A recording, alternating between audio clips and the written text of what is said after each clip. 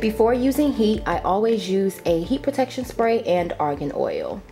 And now I'm just using a powder brush to free my hair of any tangles.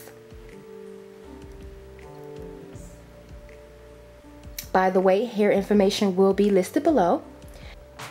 Starting from the back, I'm just parting my hair off into medium sections. And if you want a tighter wave, use less hair. And if you want a bigger wave, use more hair. Now I'm just simply wrapping my hair around the barrel. And this is the Remington curling wand and I am using the one inch barrel. And I'm going to leave this on for about 10 seconds.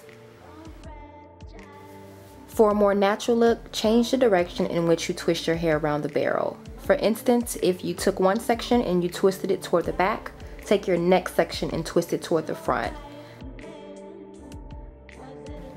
I am almost done with my hair and I am loving it. Can't you tell?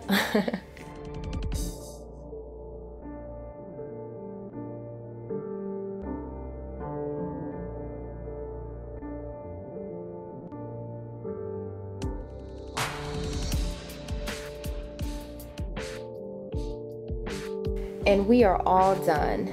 This only took me 20 minutes to do and the results are fabulous. I'm now going to just pull small sections out of my hair and separate the curls. I don't want this to be too perfect, so I'm just gonna fluff it out just a little bit. And that's it. Hope you guys enjoyed this video, and as always, thanks for watching. Bye.